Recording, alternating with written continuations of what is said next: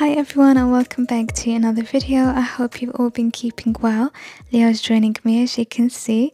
So we're going to be making some high-end decor on a budget. I'm going to be starting with these. These are summer hoops like the Toss game. You can usually find them in the summer section. And I'm painting them black and you do want to make sure that you do the sides and I did leave the bottoms, but you can also paint the bottom. Just make sure you get all the side because you'll definitely be able to see that once you stick it down. So here's mine, I'm using six. I've painted them all and I'm allowing them to dry. Then I'm going to take this canvas. This was a thrifted canvas. You can just get a plain one. That will definitely be easier because this took oh, I don't know how many layers of paint, like probably five layers of paint to try to cover this design. So I did go ahead and paint it white. I used my acrylic paint. You can use a spray paint, but like I said, just start with a blank canvas. I filmed this video a little bit different to how I usually do because it was extremely hot the day that I recorded this. We had a heat wave and I really needed my fan on so I thought okay I'm just going to do a voiceover for this video. Leo really enjoyed me painting this canvas as you can see he thought it was a game. So after allowing each coat to dry and like I said it probably took five in total I then went ahead and added my hoops. I wanted to see where I'd like it and once I was happy with the placement I took some string just to kind of get the measurement correct. I wanted everything to be centered and you know just looks really good that way. You can just do this with a ruler and once I was happy with the placement of everything I just took my hot glue and stuck them in place. I was going for abstract, high-end, mid-century kind of look with this piece, minimal of course. So that's why I've gone nice and simple. Let me know what you think of this style. Do you like it? I really love this style. I'm really into the minimal mid-century at the moment. Now moving on to the next project, I'm taking this bowl and then a bag of marbles. I used marbles in my last project, so these were just left over and I just wanted to do something with them again. So what I did was I took my hot glue and I stuck them on the edge. Then I used my finger as a rough measurement. You can do this a way better way if you can think of one but this is good enough for me so I just stuck my finger in and basically used my hot glue to glue the next marble on. Then take some spray paint and whatever colour you want. I've used white matte. I do like white matte compared to glass for example. Then you want to take a sharpie pen. I'm using a black one here just to go over the rim of the entire plate. And then you want to take some glue like Mod Podge or PVA works as well and add that to your bowl. Now I'm using some gold leaf. This is the first time that I decided to use it in a project.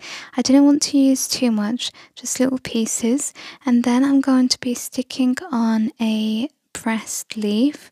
So this was a leaf, a fern leaf that I found in the park and I just snipped it off, took it home, placed it inside a book and kept it like that for two weeks and that's how you get a pressed leaf or a pressed flower. It works the same way. When it comes to placing your pressed leaf down, you want to add some Mod Podge or whatever glue you're using underneath and then place your leaf or flower, whatever you're using again, and then another layer of glue on top just to seal it all in. I did go in and add a little bit more gold leaf so you can see it all around the sides of the bowl.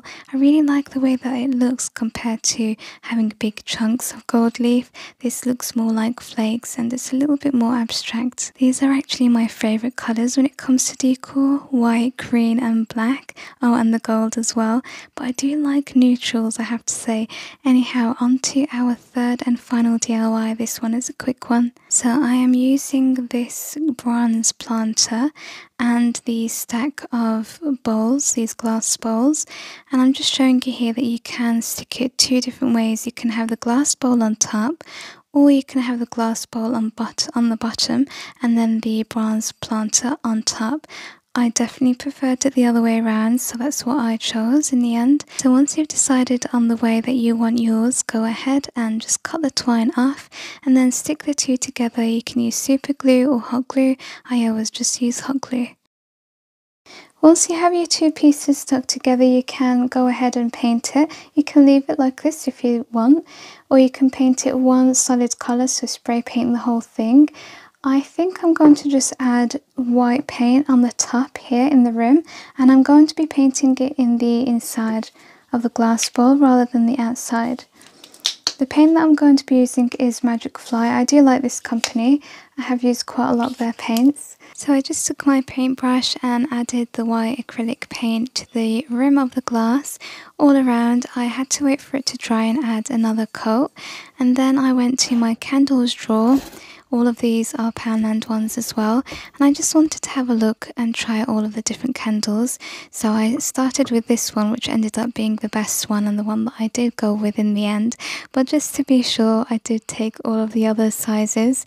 And this one here just didn't seem like it worked as well. And this definitely didn't work the square one.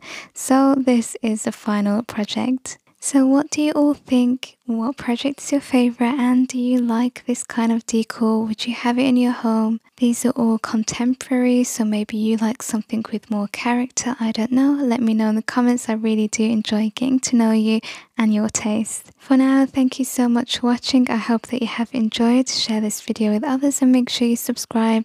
Leave me a thumbs up. I really do appreciate your support and I'll see you in the next video. Bye for now.